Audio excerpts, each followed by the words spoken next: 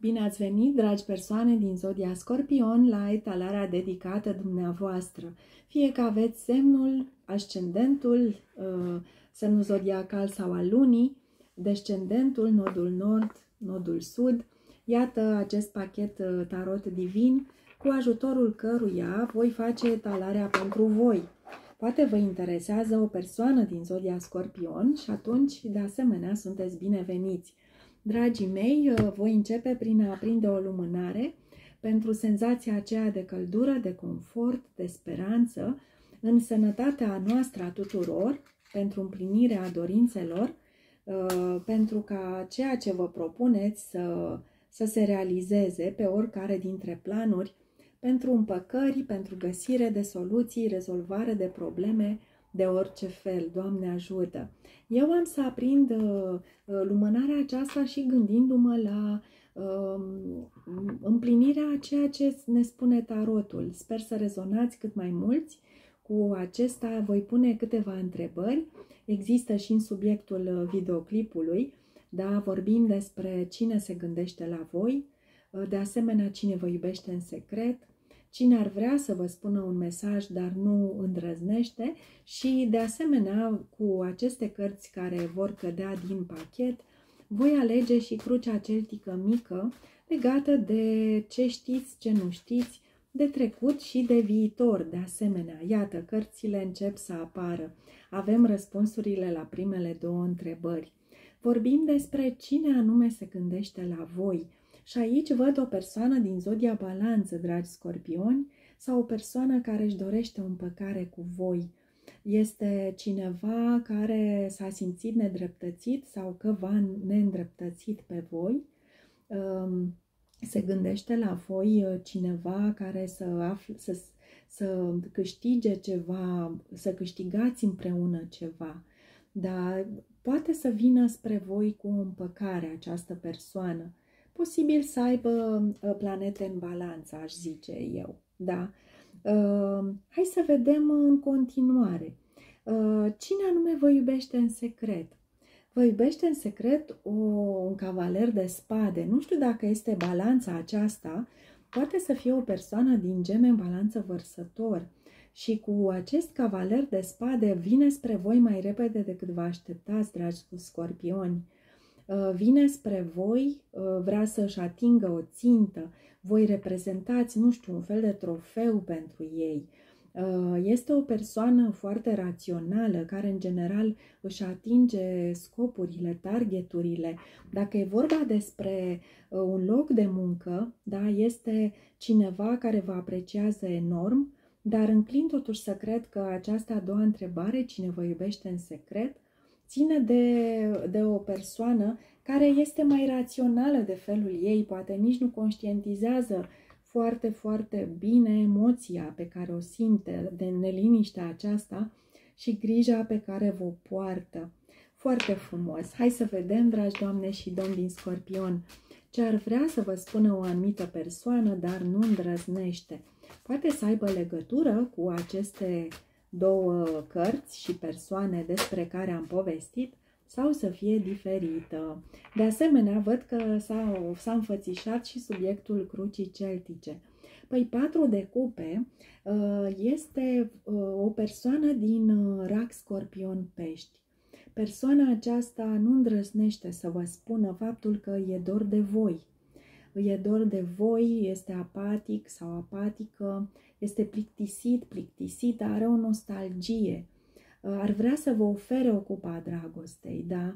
Uh, într-un fel sau altul, persoana aceasta a suferit și în trecut, nu știu dacă de dorul vostru sau a avut relații nefericite, poate și nu a dat prea multe șanse unei legături cu voi, um, dar pare așa, parcă nimic nu mai mulțumește sau nu-l mai mulțumește. Nu este exclus să vă spună aceste, toate aceste lucruri uh, într-o anumită discuție sau cel puțin să știți că, da, persoana din zodie de apă se gândește la voi cu drag și cu nostalgie. Este așa o, uh, într-o pasă foarte melancolică și nostalgică, aș spune eu. Iar subiectul etalării celtice este cinciul de cupe.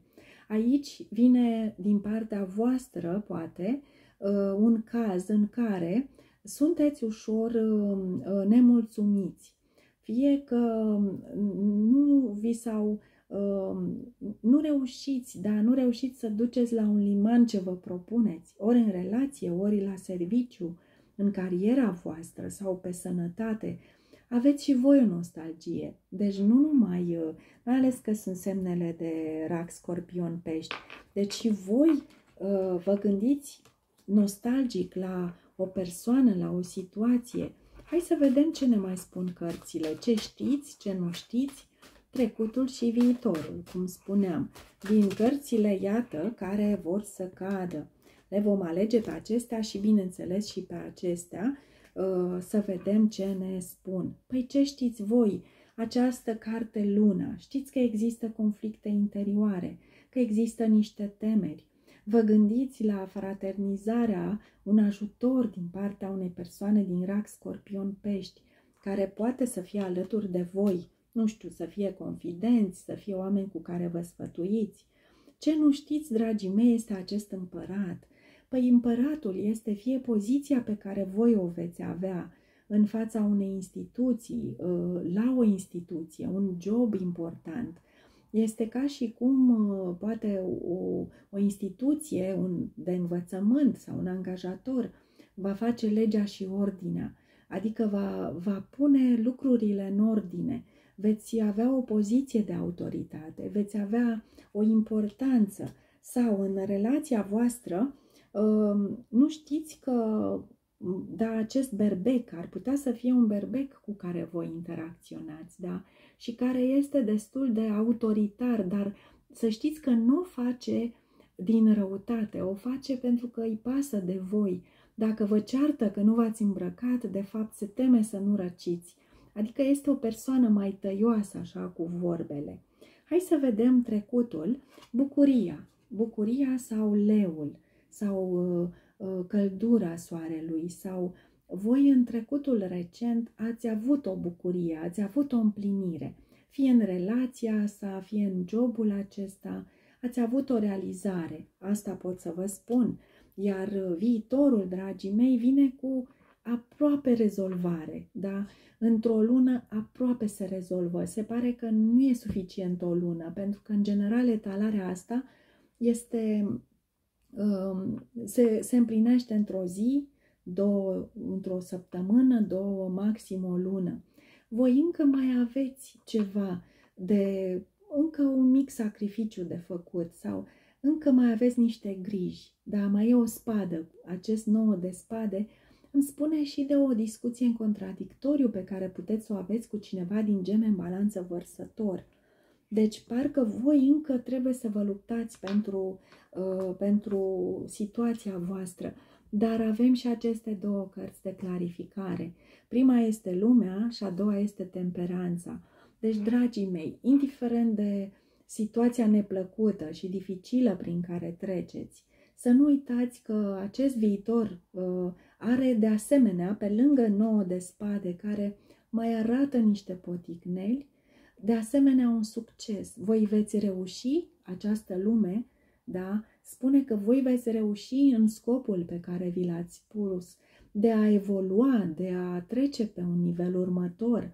Poate veți face acea călătorie la care visați împreună cu persoanele dragi, iar temperanța spune să fiți mereu cumpătați, să aduceți mereu um, un echilibru în viața voastră, să nu faceți excese, pentru că văd că vă gândiți enorm și nici nu vă odihniți câteodată de atâtea gânduri.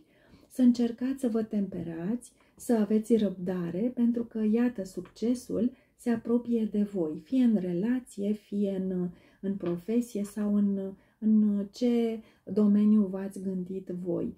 Văd că vă ajută un vărsător și de asemenea vă ajută și un săgetător. Deci pot fi membrii de familie, parteneri ai voștri, e foarte bine aspectat, da? Uh, aveți mesaje care sper că v-au ajutat, sper că veți rezona cu ele și uh, m-aș bucura, dragii mei, să reveniți și cu alte ocazii și la alte etalări. Sper din tot sufletul să vă abonați dacă n-ați făcut-o deja și vă îmbrățișez cu mare drag, să aveți grijă de voi. La revedere!